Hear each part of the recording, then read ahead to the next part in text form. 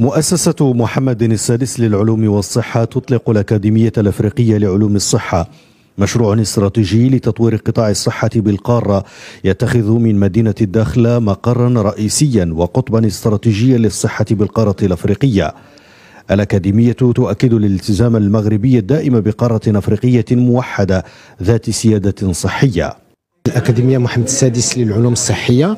آه، هي في واحد الإطار معاون إفريقية لأن المغرب تلعب واحد الدور أساسي في ميدان الصحة في إطار المعاونة ما بين الجنوب جنوب. وتنظن بأن مدينة الداخلة غتبين بأن كاين واحد الإمكانيات واحد الطموح لا في البحث العلمي ولا في الصحي من طرف المغرب ولكن مع آه، آه، الأخوات والإخوان في إفريقيا البحوث العلمية والتكوين ديال الأطر لا في ميدان الصحة ولا في الميدان ديال البحث العلمي. في ظل تحديات صحية كبيرة تواجه القارة الأفريقية تضع الأكاديمية الأفريقية لعلوم الصحة في نطاق عملها عدة أهداف. على رأسها البحث والتطوير في قطاع الصحة والتكوين وتأهيل الأطر الصحية بالإضافة إلى وضع شبكة للخبراء لتبادل المعارف والممارسات الفضلى في المجال. الاثر سيكون هائلا في الحقيقة فكما نقول لوحدنا نذهب سريعا لكن مجتمعين نذهب بعيدا Seul on va vite mais ensemble on va loin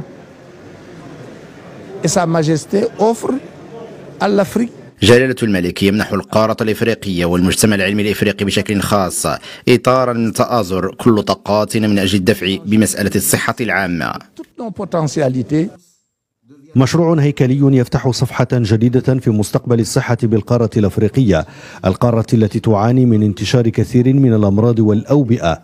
هي فضاء للجميع للعمل والتكامل استجابة لحاجيات ساكنة القارة من الرعاية الصحية. هذه المؤسسة المؤسسة الإفريقية للصحة وعلوم الصحة آه، ما جاتش يعني آه، آه، بالصدفة. والمغرب ما بغاش يديرها يعني للتباهي والتفاخر وإلى غير ذلك. ولكن الأساس ديالها وباش خصنا وباش يعني باش فكرنا فاش خصها الدار كان لها كان كان لها واحد واحد التجاوب لبعض بعض الأسئلة اللي طرحت في على الأساس ديال الصحة في إفريقيا. وهذا الشيء هذا شفناه في الكوفيد في لا بيريود ديال في ديال الكوفيد مالوغوزمون. وحنا الآن حنا كان كنجاوبوا على هذاك على هذوك المشاكل اللي وقعت هذه هذه شحال في, في الكوفيد وخلال الاوبئه وإلى غير ذلك.